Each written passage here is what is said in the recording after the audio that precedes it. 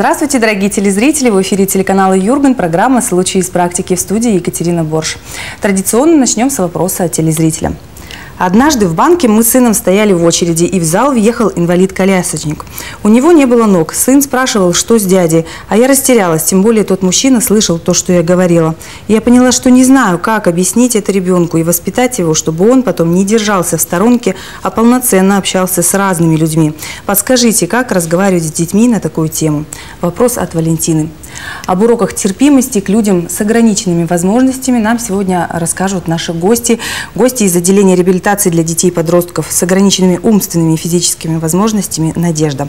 Лариса Петровна Шагина, заведующая. Здравствуйте. Любовь Леонидовна Безнотикова, педагог-психолог отделения. И Наталья Борисовна Андреева, специалист по социальной работе, тоже отделения. Здравствуйте. Напомню нашим телезрителям телефон прямого эфира 46 90 60 с вашими вопросами или, может, предложениями, как на самом деле можно воспитать в наших детях терпимость э, к людям, ну, чтобы не смотрели с жалостью, чтобы не было, было полноценное общение. Вот звоните, говорите, еще одна возможность, пишите нам на CQ, я постараюсь озвучить все ваши вопросы. Дорогие гости, для начала хотелось бы прокомментировать вопрос от нашей телезрительницы Валентины. На самом деле, как можно воспитать и возможно ли?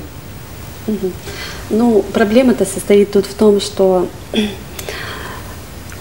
не восприятие мамы самой а, человека с ограниченными возможностями, да, то есть а, она не смогла объяснить, потому что она сама не представляет правильно а, и редко встречается с такими случаями и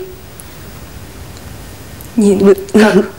Ну просто мама она, же тоже не виновата. Она, не, она, она неплохо не, Она сама не знает, как воспринять его, как подойти к этому человеку, оказать ли помощь, и поэтому не знает, как объяснить ребенку.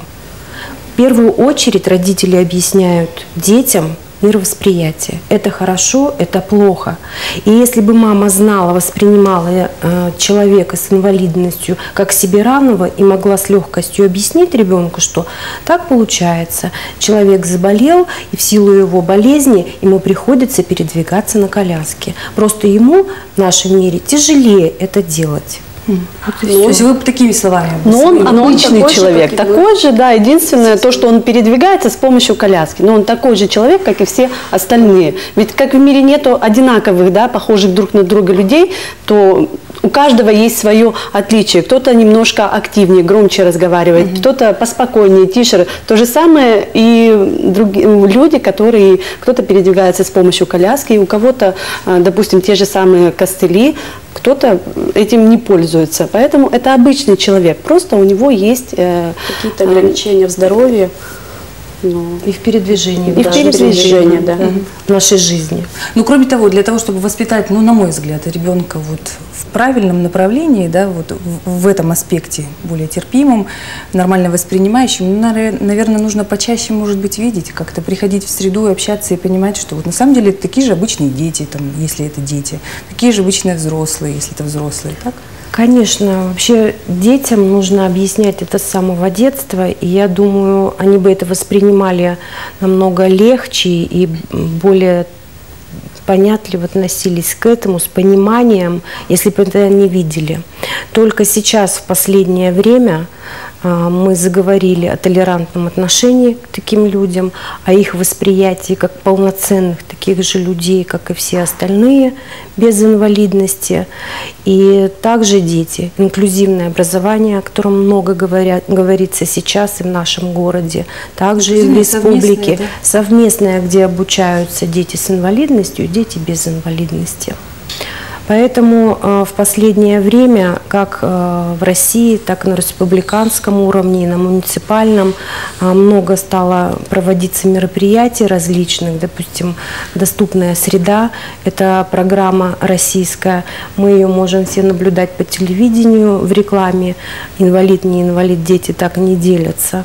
И если раньше люди не задумывались, то я думаю, вот даже с помощью этой рекламы, мы уже привыкаем, и в нашем сознании что-то должно происходить. Да, дети так не, не делятся. Инвалид, он на коляске, незрячий.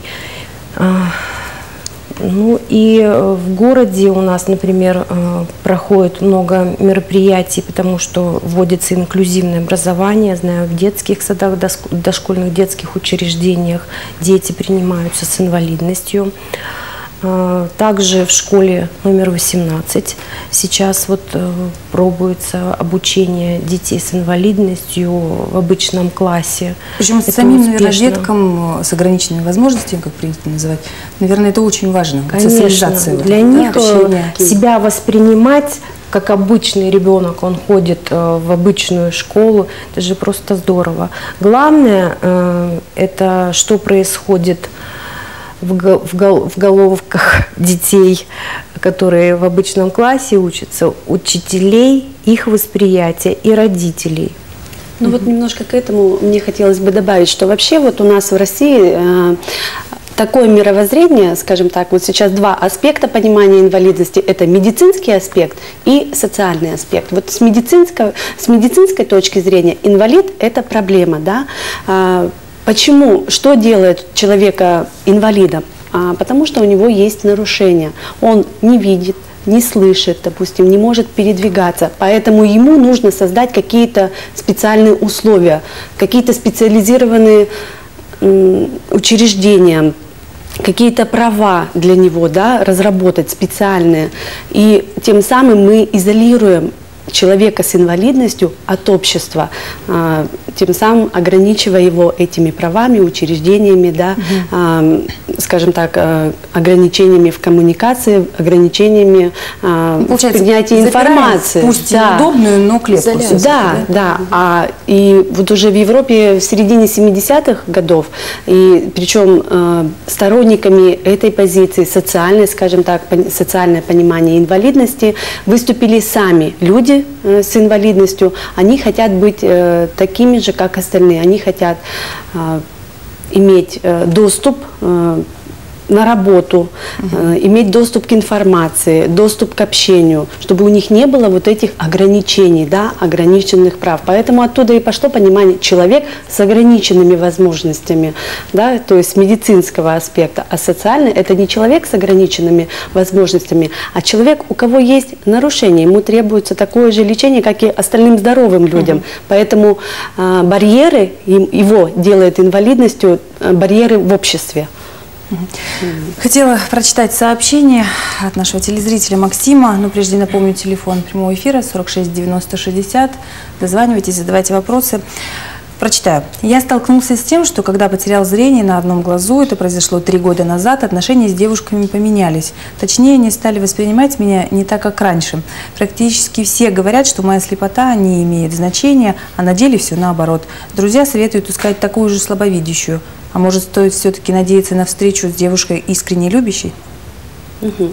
Ну, проблема действительно тут есть. Э, то есть э, самое главное, как сам себя воспринимает человек, э, точно так же воспринимают его и другие угу. люди. Поэтому действительно нужно воспринимать себя как обычный здоровый человек, полноценный. Каким образом можно настроиться на это? Потому что он не родился с этим. Он пишет, что три года назад это произошло. Я думаю, взрослому молодому человеку сложно и так да, смириться это очень сложно. Сложно. Вот сами даже люди с инвалидностью говорят, что мы э, нас делает э, инвалидами не наши заболевания, да, а те барьеры, которые есть в обществе.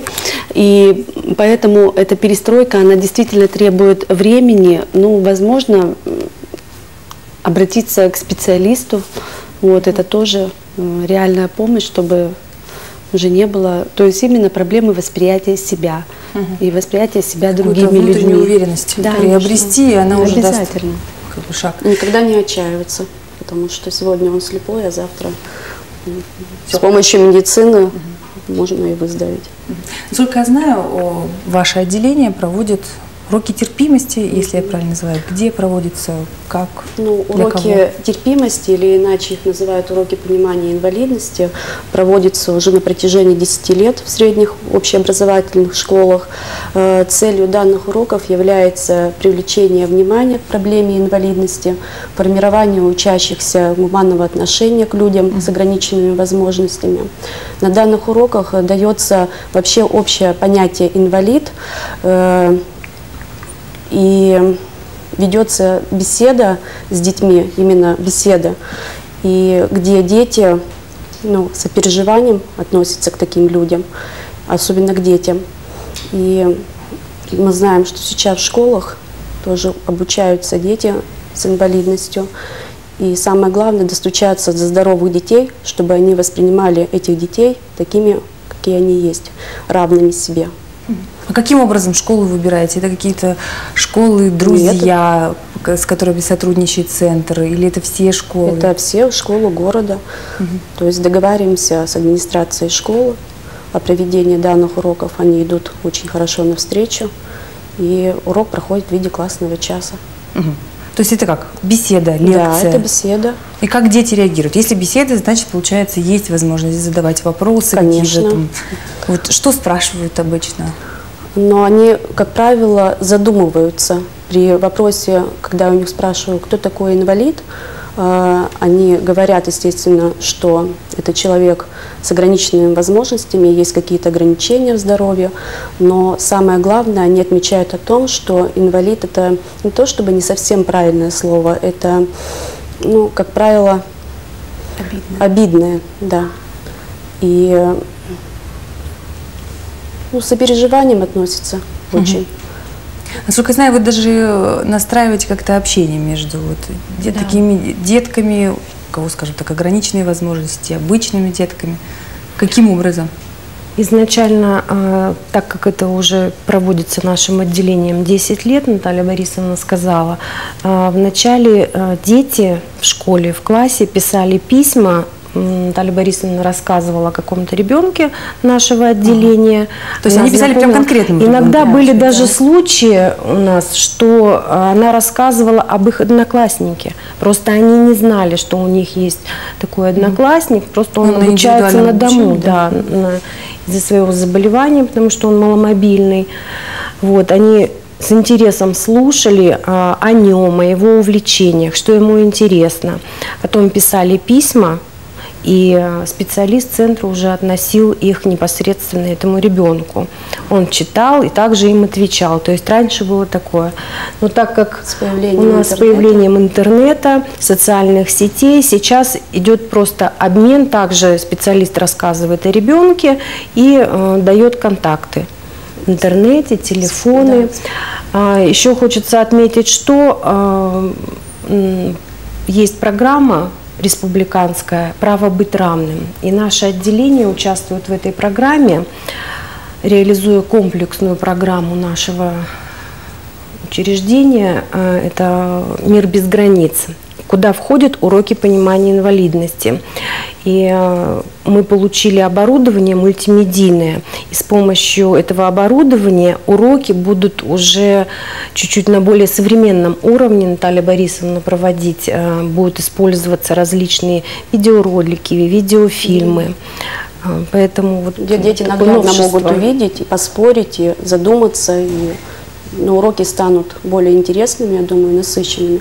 И вы знаете, когда вот урок заканчивается, когда подходит ребенок и говорит, просто подходит и говорит спасибо, и передайте, пожалуйста, здоровье и счастье ну, ребенку данному, например, о котором я рассказывала, это самые золотые слова, я считаю. Значит, я достучалась. Угу. Но если вот 10 лет, вот первые переписки, есть те, кто, например, ну, они вышли из школы, уже выпустились, и вот до сих пор дружат или общаются, вот такие вот. Не следите за такими историями, например? Нет, у нас вот была девочка, которая общалась с классом, э, как бы весь класс был очень активный. Девочка обучалась на дому, она не имела возможности ну, вообще выходить из дома в связи с тяжелым заболеванием. И вот такой диалог велся в протяжении нескольких лет. Угу. Ну, уже время прошло, я, честно говоря, не знаю. Сейчас девочка выросла. Дети до 18, до 18 лет, лет, да. Угу. А потом они уже нас не посещают наш центр. Единственное, что выпускники э, нашего отделения, конечно, они приходят ну, кто может, э, уже волонтерами сами выступают. Угу. Есть выпускники клуба «Диалог», который у нас создан для подростков. В нашем отделении тоже на протяжении 7 лет он работает. И уже те дети, которым сейчас по 19, по 20 лет, они приходят как волонтеры. занимаются с маленькими детьми. Угу. То есть, получается, цель вот этих уроков в понимании инвалид, инвалидности, э, вот цель какая? Поднять эту проблему или э, объяснить все-таки детям, что...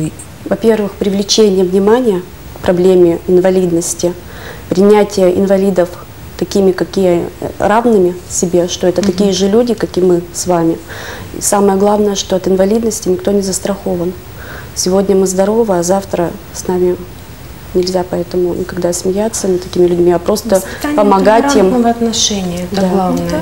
И еще как скажем так, а, немножко вот молниеносно не может наше мировоззрение измениться, угу. да, с медицинского аспекта. И вот эти вот те маленькие шаги, которые в будущем дадут, а, когда все люди в России начнут воспринимать инвалидность с социальной точки зрения. Угу. Нам пора прерваться на небольшую рекламную паузу. Не переключайтесь. У меня беда, Борь. Костик, мой сын, они на машине человека сбили. А я в бега подамся. Как бандитов по телеку показывают. Отвечай, он был за рулем! Он, я спрашиваю! Мам, что же теперь будет? Сереж, помоги. Я все для тебя сделаю, что не скажешь. А меня вы спросили, чего я ждал? Спросили! Без тебя жизни нет. Костя! Алексей Чадов. Ой, не, трогай, он не виноват! Оксана Акиншина. Сергей Шнуров. Игры мотыльков. В четверг на Юргане.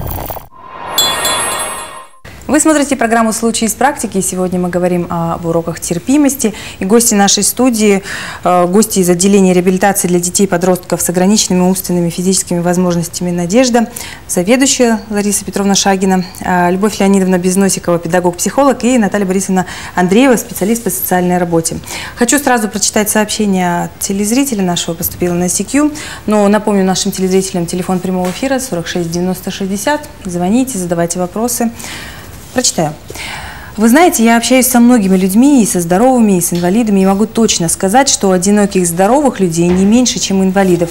Все зависит от, не от инвалидности или ее отсутствия, а от того, что у человека в голове и на душе, как он увидит этот мир и отождествляет себя с ним. Главное, не отчаиваться. От Марии. Очень согласны? правильно, да, согласна. Правильное нашего да. разговора, что как человек воспринимает себя, преподает, так и будут его другие воспринимать. Угу. Не опускать рук, быть сильным и, и оставаться самим собой, самое главное. Угу. Расскажите немного о вашем отделении. Ну, нашему отделению уже Вы недавно приобрели новый лет. дом при этом? Да, да, угу. это наша радость, наша гордость. И как наши, и детей, и родителей, мы уже год как находимся в новом помещении на Катаева 21. Это новое здание, выстроено со всеми требованиями. Есть у нас лифт, который предназначен для передвижения маломобильных э, детей. Площадка есть у вас, да? Площадка есть, да. У нас телеканал Юрган об этом знает, потому что мы проводили совместно, вы, вернее, для нас проводили акцию летом, и сейчас у нас она облагорожена, так скажем. Вот. Э, находимся мы в двухэтажном здании, много кабинетов у нас для всех специалистов, которые угу. работают. А да. специалистов сколько у вас? А, у нас пять специалистов по социальной работе, восемь узких специалистов. Это и педагог-психолог, угу. и логопеды, инструктор физической культуры, музыкальный руководитель, социальный педагог. То есть это те, кто занимается кто, непосредственно да, реабилитацией, реабилитацией угу. детей. И три социальных работника у нас. Угу. А при этом детей. деток у вас? На учете у нас 460 детей сейчас. Но это еще не все. Это те, которые обращаются в центр за услугами. Угу. То есть их больше в городе. Мне подсказывает, что у нас есть звонок. Давайте примем. Здравствуйте, мы вас слушаем. Здравствуйте, а, меня зовут Татьяна. У меня такой вопрос. Эм, моему ребенку 7 лет, он у меня инвалид. А, я вот хочу спросить, а, можно ли к вам вот приходить просто вот, я не знаю, на занятия или как вот там беседы вот с другими детьми, да, чтобы вот как-то проводить время, потому что ребенок замкнутый, а, с обычными детьми боится, стесняется вот, общаться, потому что ну вот дети пальцем тыкают, как-то вот обзывают, и вот хочется как-то вот, чтобы раскрепостился малыш. Спасибо. Спасибо большое за звонок. Ну, приходить к нам не можно, а нужно.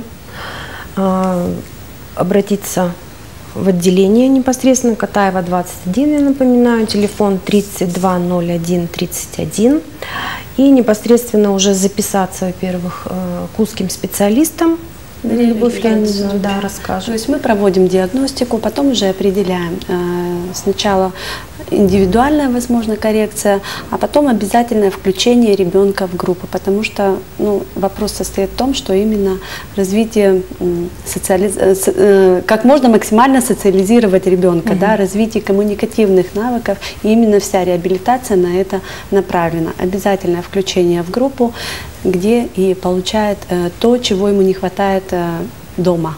Угу. То есть реабилитация, получается, идет наверняка в нескольких направлениях. Психологическая Обязательно. и физиологическая. Комплексная. Да? Комплексная реабилитация, а, то есть э, инструктор по физической культуре, да, э, музыкальный руководитель проводит занятия по музыкальной терапии, логопед занимается, дефектолог, э, педагоги, психологи, их у нас два в отделении. А, развитие мелкой моторики занимается у нас социальный педагог. То есть получает комплексную, такую непрерывную, постоянную реабилитацию. Ребенок. Помимо этого еще можно посещать, во-первых, мероприятия, которые организуются в отделении ко всем календарным праздникам. Это и 8 марта, и новогодние утренники, и Дню семьи всегда организуются. А, Они организуются для ваших детей или с помощью ваших детей? Для наших детей, угу. для детей, для родителей, но с помощью волонтеров. Мы сотрудничаем со многими центрами дополнительного образования, а, с педагогическим колледжем, с колледжем искусств, которому мы всегда говорим большое спасибо за участие. Они организуют просто прекрасные мероприятия с выступлениями, с номерами.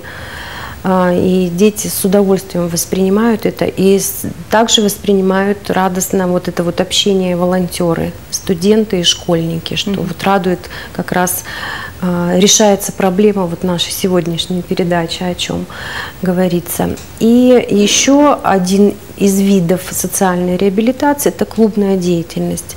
На базе нашего отделения работают несколько клубов. Это один клуб для подростков, мы уже говорили с ними диалог. Можно туда записываться с 10, с 12 лет и до 18. У них в чем очень... заключается клубная деятельность? Клубная деятельность. Они у нас еженедельно встречаются. У них э, составлен план мероприятий. Вот что они только не делают у нас. Они у нас сплавляются на байдарках. Они ездят в путешествия. Сейчас вот опять же по программе «Право быть равным» они посещали Великий Ростов, Золотое кольцо России, путешествовали. Они у нас ходят в боулинг на благотворительной основе, в релакс. Тоже большое спасибо нашим партнерам. А, скалодром, посещение театров. То есть у них каждая неделя расписана у них такая плодотворная очень жизнь. Uh-huh. Есть также у нас клуб а, для детей с синдромом Дауна. Это «Радуга надежды», которая работает по субботам, и этот э, клуб посещают именно дети с этим заболеванием и их родители. Семьи. Да, он для семьи. Для создан. семьи.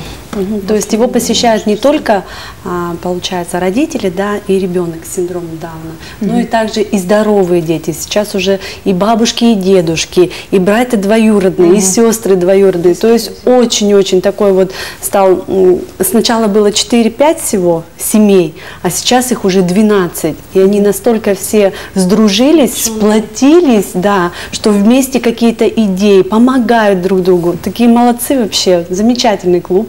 И руководитель у нас э, логопед Гумина Светлана Владимировна. Так что вот если есть какие-то э, проблемы, допустим, можно и в этот клуб обратиться. Вот и еще один у нас клуб, он работает уже второй год. Это «Друзья человека» по канистерапии реабилитация с помощью собак. И опять же нам здесь большую помощь оказывает это волонтеры, кинологи и благотворительный фонд. Наш друг а, Татьяна Анатольевна Козлова. Она вот организовала это все, подружила, так сказать, всех. И на протяжении второго года уже работает этот клуб. Причем присоединяется все больше и больше кинологов. Если раньше проводился один раз в неделю, то сейчас уже три раза в неделю, потому что нравится детям, есть очень положительная динамика в реабилитации детей. Ну и, и родители собакам, очень да, довольны, и родители довольны. главное родители, угу. то есть они видят рост э, детей и требуют вот каких-то новшеств, чтобы больше давали им детям. Ну мы этому рады. Еще одно сообщение хочу прочитать. Прочитала статью на днях, какие слова можно говорить инвалиду. Пришла в ужас. С ними нужно просто разговаривать, естественно, когда для этого есть желание. Они такие же люди. Вы же не задаетесь подобными вопросами, когда общаетесь со своими друзьями или новыми знакомыми. Внимание инвалиду необходимо ровно в том количестве, в каком оно необходимо любому здоровому человеку. Если просит о помощи, помоги. Не просит, не надо акцентировать на этом внимание. Возможно, он не так уж и беспомощен, как может показаться с первого взгляда. От Ирины сообщение. Ну, я с Ириной полностью права, согласна. Она э, Нельзя никогда подойти и навязывать свою помощь. Прежде всего, если вы человека встретили на улице и даже видите, что вроде бы ему нужна помощь, нужно подойти, поздороваться и спросить, вам нужна моя помощь? Потому что человек может справиться сам. И еще, если это колясочник, вот такая рекомендация, всегда разговаривайте, чтобы у вас глаза были на уровне его глаз. Угу. Потому что... А, присесть, получается, Да, правильно? присесть или ну, так, чтобы нагнуться, чтобы человек видел ваши глаза, чтобы он не задирал голову, смотря на вас. И всегда спросите, нужна вам моя помощь, и чем и как я могу вам помочь. Потому что бывают такие случаи, люди бросаются помогать, допустим, тому же человеку на коляске, не зная, как ее правильно транспортировать, это может быть и перевернуться она, и оторваться что-то от этой коляски. Либо когда мы переводим слабовидящего человека, либо незрячего, тоже. Такая рекомендация.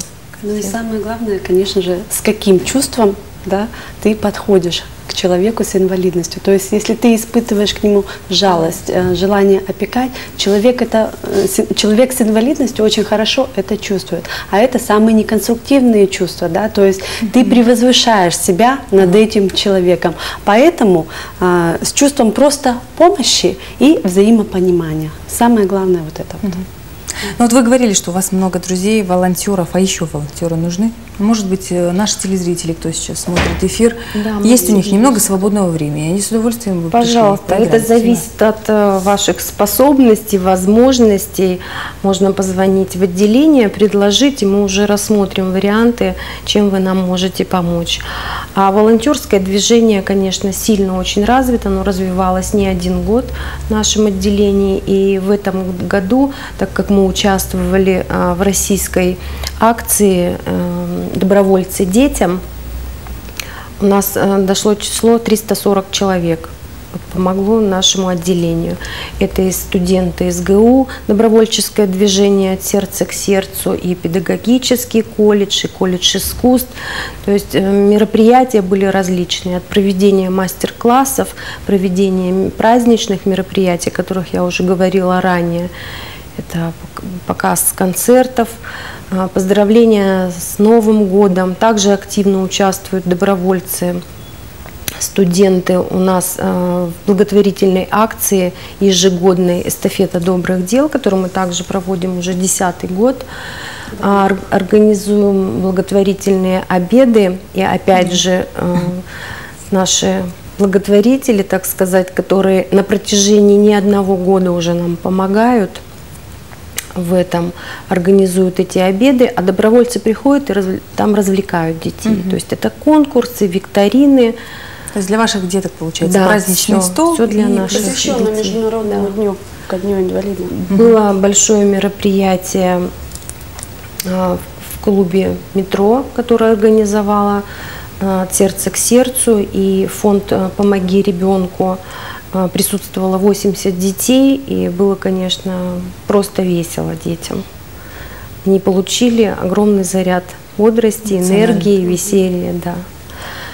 Ну, и вот собаки, которым я уже кинологи, школьники из центров дополнительного образования, а, в акции «Юрган детям», которые наш нашу территорию э, благоустроили. Примеров очень много. Еще одно сообщение. Я молодая девушка, после аварии потеряла ноги. Сижу теперь дома. Интернет – единственный способ общения с миром. Из дома выходить ненавижу. Окружающие мучают идиотскими вопросами и тыкают пальцами. Это Вики. Такое сообщение. На самом деле, нужно ли запираться дома? Или если некомфортно, не тогда лучше там и сидеть? Ну, мы уже говорили об этом, действительно, то есть это а, внутреннее да, чувство, внутреннее состояние. С этим надо бороться, справляться и, э, скажем так, э, развивать себе вот это то сильное чувство собственного достоинства. И ни в коем случае не отказываться ни от помощи близких, ни от общения с друзьями. Это все будет налажено, но со временем. Единственное, надо быть сильным. Угу в качестве... Окружа... И чтобы окружающие никогда не отворачивались, потому что именно эту силу дают наши близкие. Угу. Поддержку. Можно еще порекомендовать девушке обратиться к таким же молодым людям с инвалидностью. У нас есть прекрасное молодежное движение молодых инвалидов «Пульс».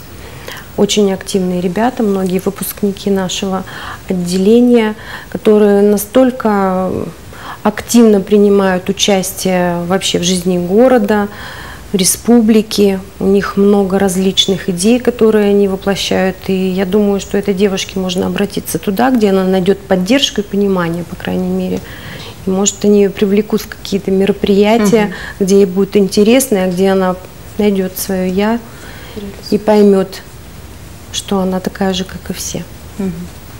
Все-таки в качестве заключения хотелось бы услышать от вас итоговые, скажем, два-три слова от каждой из вас – как настроить и саму, само, самим себя, и своих детей, чтобы вот на самом деле получились уроки терпимости вот от обычных людей, что должно быть направлено? Ну, я порекомендую э, родителям, которые воспитывают детей с инвалидностью, многое зависит от них. Вот как они сейчас настроят своего ребенка, э, мировосприятие, то есть либо он закрытый, там все вокруг враги, а ты вот э, такой несчастный и больной, угу. либо совершенно по-другому. Мир вокруг тебя воспримет, но ты должен быть достойным этого. Ты должен преподносить себя людям такой, как ты есть. Ты ничуть не хуже других. Угу. Это первое. А в отношении общества, наверное, в обществе нужно развивать э, такую э, и больше создавать таких программ как «Доступная среда», где будет ежедневно везде по телевидению, на плакатах, на баннерах, э, где будет говориться о инвалидности, о проблемах, и что люди так не делятся. Ну и всем Буквально два слова, да. Всем остальным главное, как говорится, самая главная фраза – относитесь к другим точно так же, как хотите, чтобы относились к вам. Поэтому относиться людям с инвалидностью нужно точно так же, как вы относитесь а, к здоровым ко всем другим людям. Да, ко всем другим. А я бы хотела сказать, что людям с ограниченными возможностями, людям с инвалидностью и родителям, имеющим детей-инвалидов, э, никогда не нужно отчаиваться, никогда не опускать руки, а всегда двигаться вперед. Все получится. Напомню, что сегодня у нас были гости из отделения реабилитации для детей и подростков с ограниченными умственными и физическими возможностями «Надежда», Лариса Петровна Шагина, заведующая Повторим телефон, вдруг кто-то не успел. 320131 и 320103. Замечательно. И Любовь Леонидовна Безносикова, педагог-психолог, спасибо большое. И Наталья Борисовна Андреева, специалист по социальной работе. Спасибо большое вам всем. Спасибо и здоровья и счастья вашим деткам. Спасибо вам. Всего доброго. А с вами, дорогие телезрители, мы увидимся завтра в 12.40. До встречи.